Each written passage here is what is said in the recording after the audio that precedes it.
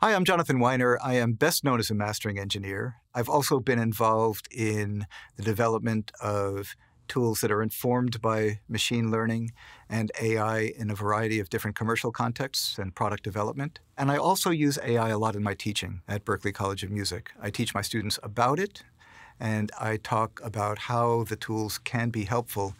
At the heart of all of this for me is a fascination with the intersection of music and technology and ways in which technology can expand our creative vocabulary. So I'm enthusiastic to talk to you about this.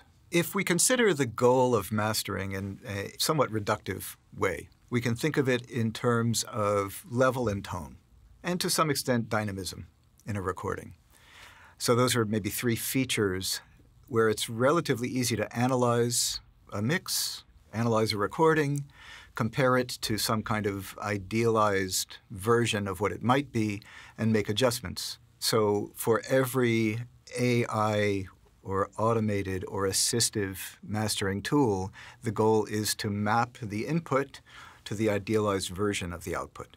We should start by thinking about the, the tools that we're using to automate or assist in the mastering process as just that, being either automations or assistants. Automated mastering systems have a certain degree of utility if you want to take a recording and make sure that the level's right, make sure it is hot enough. If you have 20 or 30 different pieces of music and you want to reconcile from a very sort of zoomed out perspective the overall tonality and level, these tools can be very helpful in kind of reconciling major differences between the different recordings, between the different musical pieces that you're dealing with.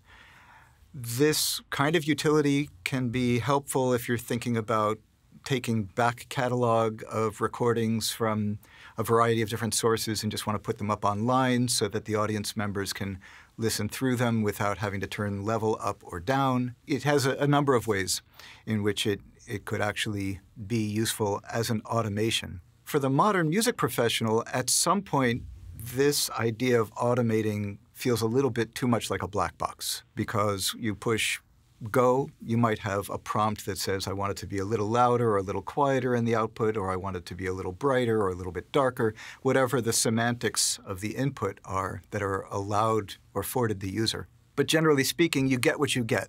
And for those of us that are making music for our own purposes because we're trying to create something that's beautiful, something that's compelling, that's communicating an artistic idea, even to some extent trying to fit within a body of work in a genre, sometimes we need to be able to finesse the result. So in this arena, automation is problematic because we don't get to finesse the result.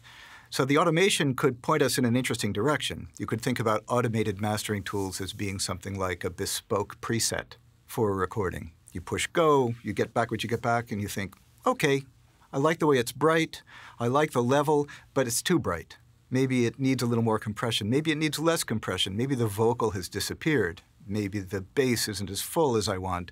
So now I'm going to try to use my own tools to recreate the thing that it's created and get something that's closer to what I like.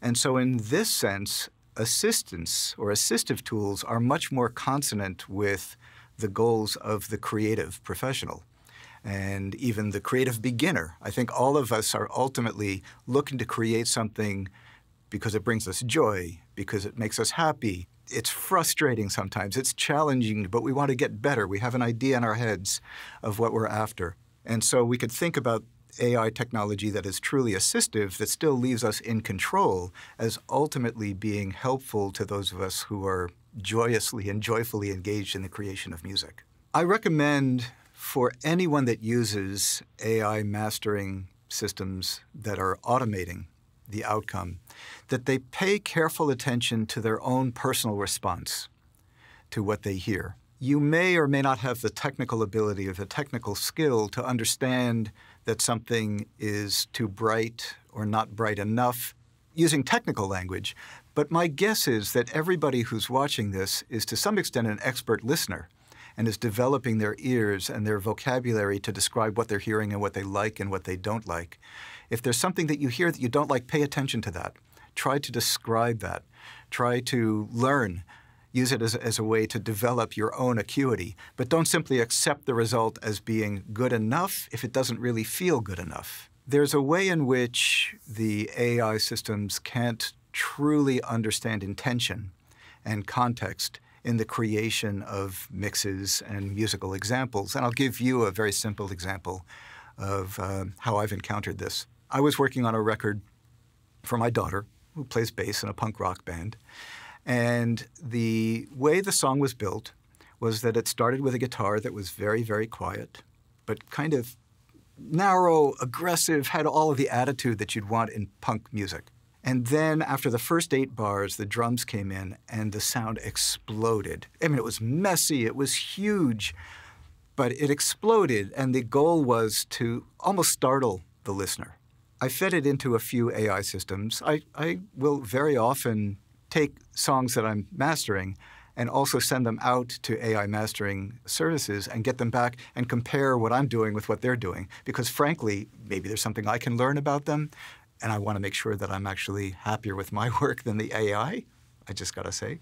Anyway, so I fed them to the AI system, and the AI did what it thought it needed to do, which was to reconcile the dynamism, crank the level, make it brighter, and that incredible contrast between the introduction and when the drums came in was gone. There's really no way to indicate to the AI that that was part of the intention. And there are probably a million versions of what intention might look like in the craft of an arrangement and what a songwriter wants and how that's manifest in a mix.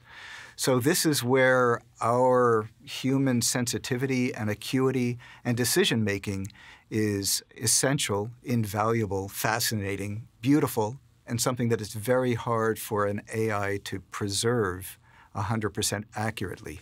So this is simply a way, I think, of encouraging you to listen to your own work and also listen to the outcome uh, when you engage with these AI mastering systems. Even if you don't have the technical vocabulary to describe something that you're hearing that's bugging you, if it's bugging you, pay attention to that voice inside, that the feeling that's coming through the speakers or through the headphones isn't quite right in some way, and then try to figure out what it is and how to address it. I think there is a pitfall in automation in that we simply accept the result and assume it's fine. If it's not fine with you, it's not fine.